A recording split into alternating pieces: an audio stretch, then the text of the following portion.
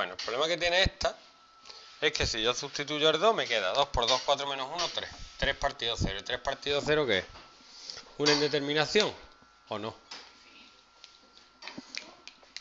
Eso tiende a infinito.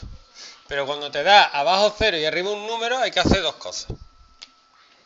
Hay que hacer el límite cuando x tiende a 2 por la izquierda y el límite cuando x tiende a 2 por la derecha.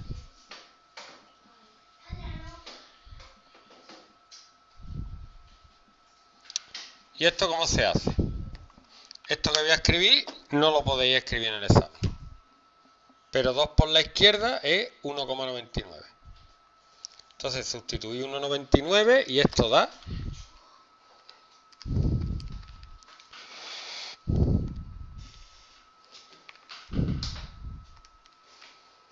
menos 298. Es un número grande negativo, menos infinito.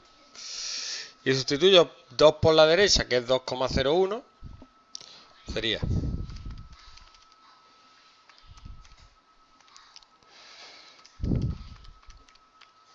302, que es un número grande positivo, más infinito. ¿Vale?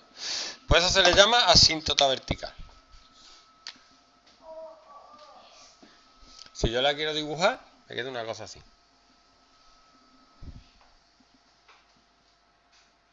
La, la, la, la, la, la, la. 2. 2 por la izquierda menos infinito. 2 por la derecha más infinito. ¿Vale? Asíntota vertical. Y siempre ocurre cuando hago el dominio y me queda un número partido cero. Para sacar las indeterminaciones, estas, las, discontinuidades, que son discontinuidades, lo que hace es igualar el denominador a cero del tirón. Y ya sabes que el 2 es el que te va a causar problemas. Esto también es una discontinuidad de salto infinito. El tema este va de continuidad, pero se puede ver desde el punto de vista del límite. Cuando el límite por la izquierda y por la derecha no es un número y es igual, la función no es continua. ¿Vale? De esto voy a sacar unos cuantos. Luego está el otro, el más divertido. ¿Cuál es el más divertido? Pues más divertido es este. Esta función.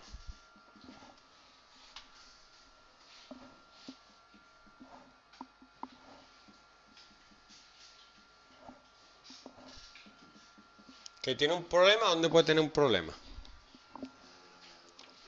En el 3. No. Sí, pero no, no estamos con lo oblicuo. Todavía tiene una vertical. ¿Tiene una vertical? No, esta no tiene ni vertical. Vamos a ver por qué. Si yo sustituyo el 3, me queda 0 partido 0. Bueno, pues cuando me queda 0 partido 0, esto se llama un hueco. Se llama discontinuidad evitable. Evitable. ¿Por qué? Porque yo puedo calcular el límite. No puedo calcular f de 3 f de 3 no lo puedo calcular porque me da 0 partido 0. Y eso no, eso es imposible. Pero sí puedo calcular el límite. ¿Cómo? Factorizar y simplificar.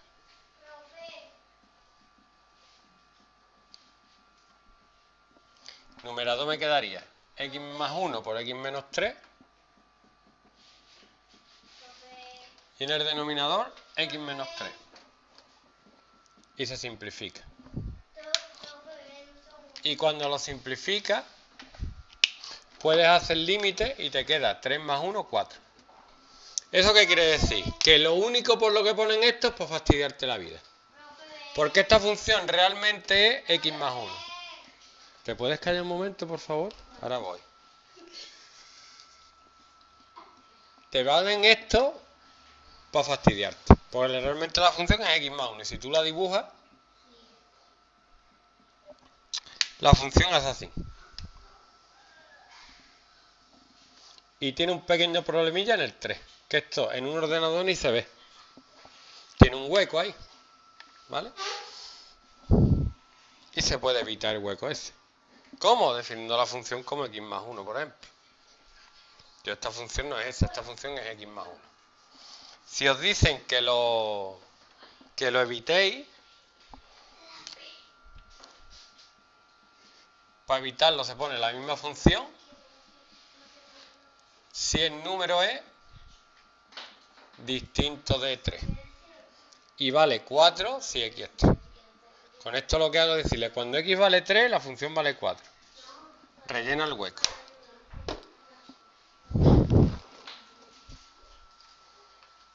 ¿Vale?